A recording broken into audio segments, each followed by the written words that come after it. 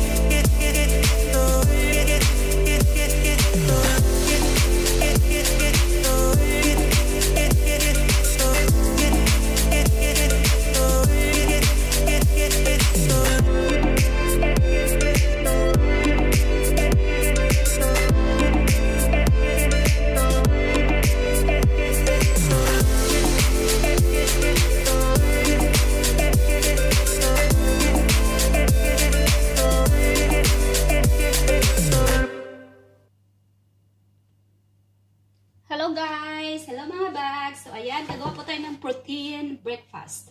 So healthy protein breakfast. So, ang unang gagawin is i-blend natin yung saging. So pag medyo malaki yung saging, pwede na yung tatlo. So ito maliit kasi, so ginawa kong apat.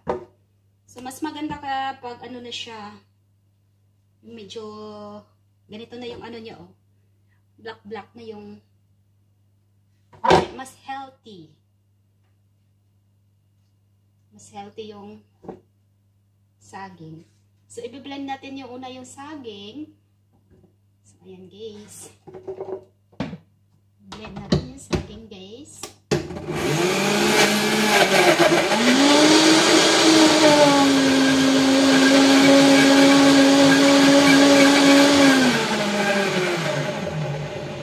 So, ayan. Blend na yung saging.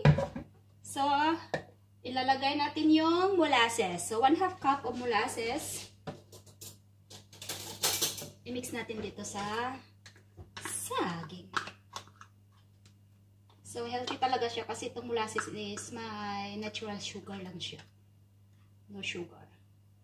At itong at itong ano din, itong um, maple syrup. Organic maple syrup. So, mga natural sugar lang siya good for sa ano rin natin sa health. So, 1 half maple syrup, man ha, 1 half cup din ng maple syrup. So, imi-mix natin siya sa dito. Yan. Okay. Ang sarap kaya nito. Ito yung favorite namin na big breakfast or snack. So, mix lang natin, blend.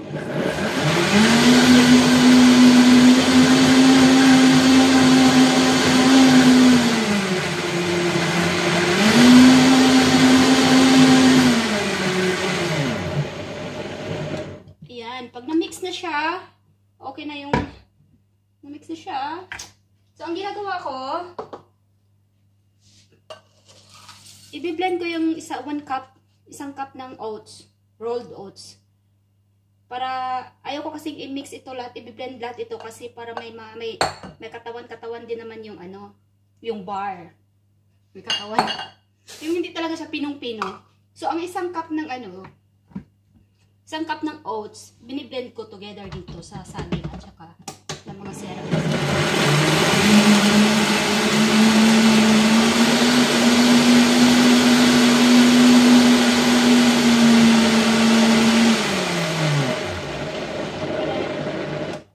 So, ayan na. Blend ko na lahat yan. Then, after that, oh, sorry. So, imimix ko siya dito. I-mix ko siya dito sa 1 cup of oats. Rolled oats. Para may katawan naman siya. Katawan. Para may body siya.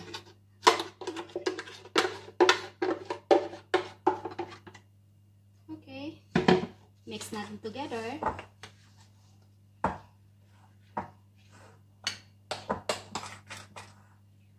So, yan yung result guys.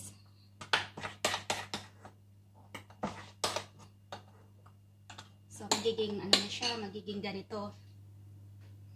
So, ayan guys. Ayan mga bags. So, tapos na ko na nagawa yung step A. So, ito na naman yung mani, yung mani, mga nuts. So, cashew nuts, uh, almond nuts, at lahat ito unsalted. So, ito is pecans at saka itong uh, pistachios. So, ang gagawin yan, kailangan natin siyang durugin. So, lalagay ko siya sa ganitart. Para durugin ko. Gaya ng ginawa ng pagdurog niya sa poso ko. Yan ang gagawin ko dito sa mga nuts na to.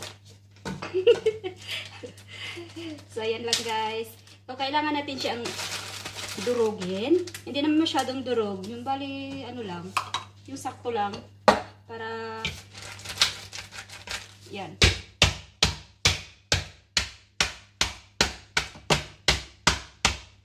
Ganitong ganito eh. Alam nyo guys, ganitong ganito eh. Ganitong ganito ginawa niya sa puso ko. Durog-durog. Charot. Hindi naman masyadong durog na durog.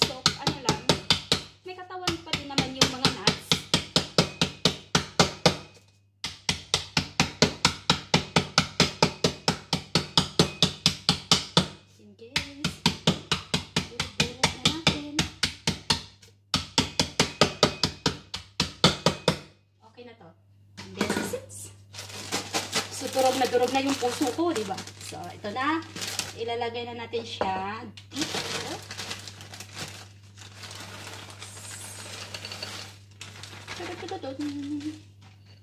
Ayan. Imimix na lang natin.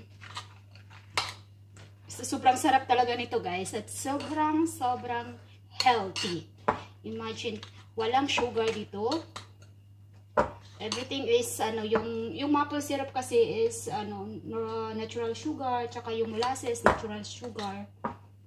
Kaya, super healthy. Ayan na siya.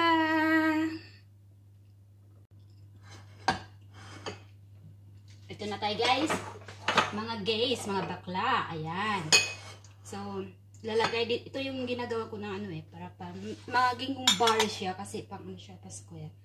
So, lalagyan ko siya ng butter para hindi manikit. Magdikit-dikit yung ano. Para hindi didikit. Yung dikit. para hindi didikit. Yung gaya ng puso ko, nadikit ni dikit sa kanya. Kaya, ang, kaya ano, mahirap makuha. Dapat lalagyan din ng butter. Ganon, charot. Walay, walay, walay, walay ang joke. Yan.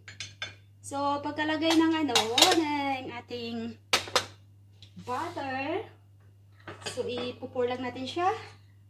Ilagay lang natin siya dito.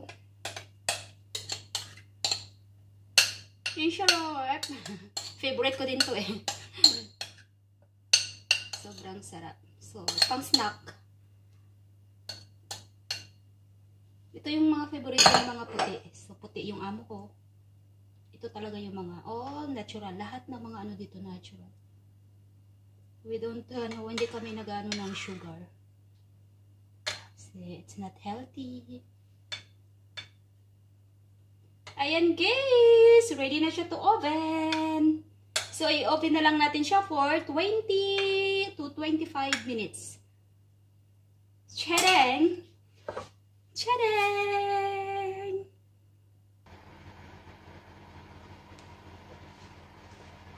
Oven na guys.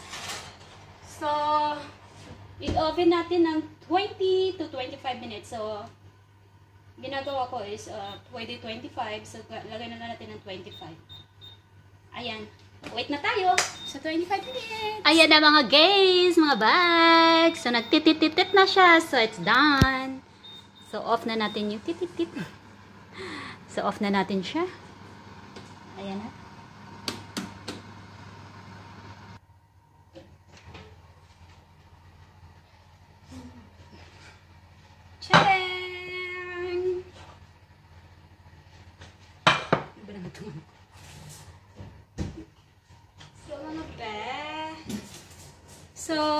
So, after 25 minutes, so, kunin natin siya sa oven.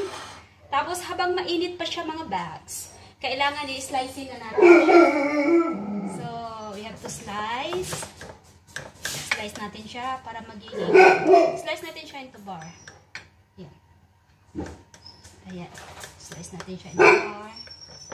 Kasi pag i-slice natin siya na malamig na, hindi na siya ma-slice kasi titigas na siya. So, habang mainit pa, kailangan natin siyang i-slice. So, after nito guys, hayaan na nating So, ayan na, na-slice ko na. So, ibabalik natin siya sa oven na naka-off na yung oven in 20 minutes. So, ayan mga box, naka-off ang oven. So, kailan naka-off ang oven? So, ibabalik natin siya for 20 minutes para maging tumigas siya. Yung tumigas siya at magiging, ano na siya, magiging bar. So, hayaan natin siya 20 minutes. So, after that, kukunin natin. Get, get, get, get, get, get, get, get, get,